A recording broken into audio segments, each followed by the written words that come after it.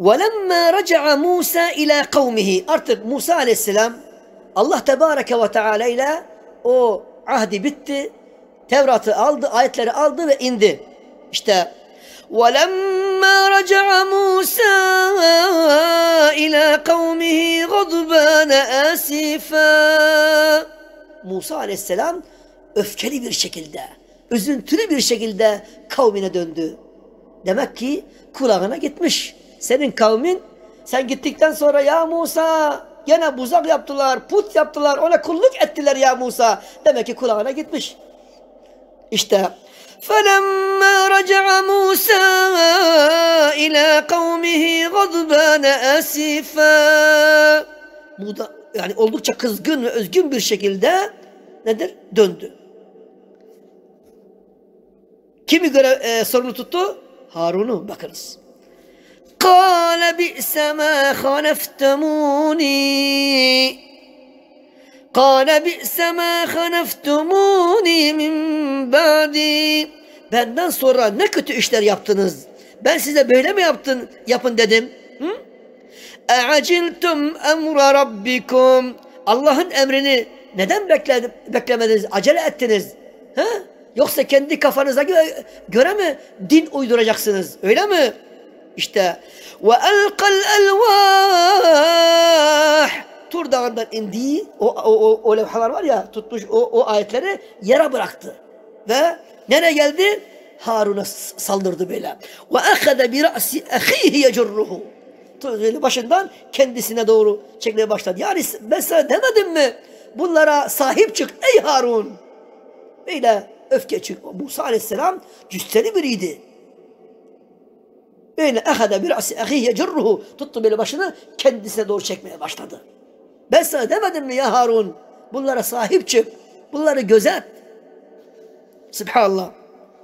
Yecurruhu ileyh. Kale ibne umme. Ey annemin kardeşi.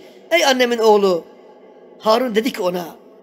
İnnel kavme istad'afuneni istad'afuni ve kâdu yaktilûneni. Yani bunlar beni küçümsediler. Elimden bir şey gelmedi. Beni öldüreceklerdi. Ve kâdu yaktilûneni.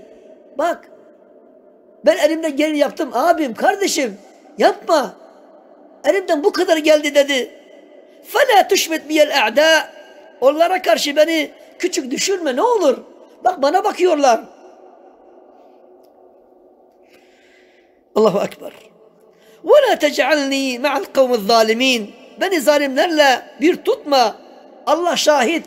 Elimden geleni yaptım ey abim. Ey kardeşim Musa dedi ona. Beni zalimlerden bir tutma. Elimden geleni yaptım. Beni dinlemediler. Demek istedi kendisine. Subhanallah. Ve la tec'alni ma'al kavmi zalimin.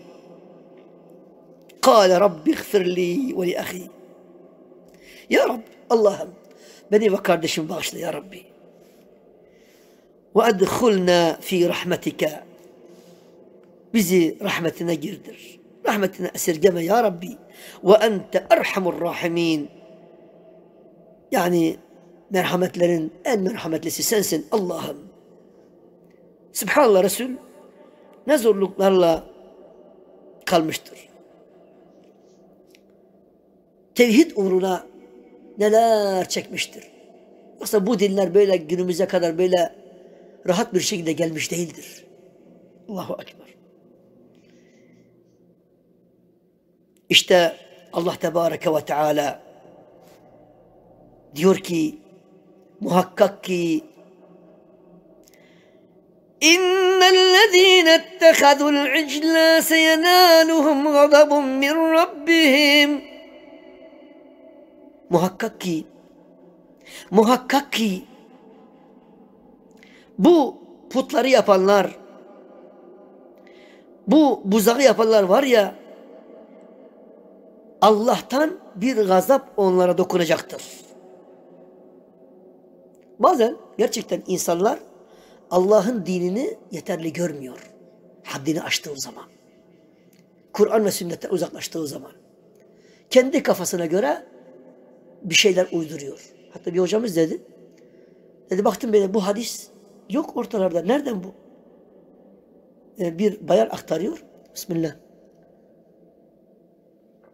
Gitmiş demiş ki ya ablam bacım anne neyse yaşlı diyor. Bu hadis nerede? Bütün kitapları araştırdım bulamadım. Nereden getirdin? Ya oğlum diyor insanlar baktım böyle çırılçıplak geziyor. Onları korkutmak için ben uydurdum diyor. Subhanallah. Yani Allah'ın kitabı ve sallallahu aleyhi ve sellem sünneti yetmiyor. Yani sen nasıl? Hangi cüretle bunu yaparsın? Dedim işte. Heva ve hevesine uyanlar maalesef böyle sapıtıyor, sapıtıyor bazen. İşte seyenaluhum gadabun min rabbihim Rablerinden bir azap onlara dokunacaktır.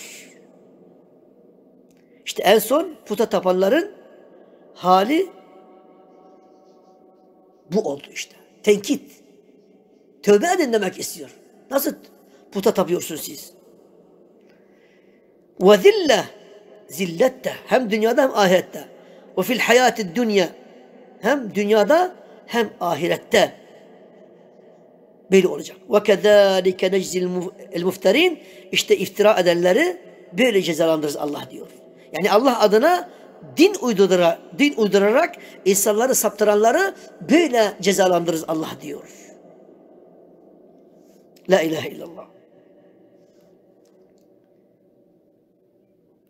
İşte Beni İsrail o buzağı yapınca Allah Tebareke ve Teala böyle onları tehdit ediyor.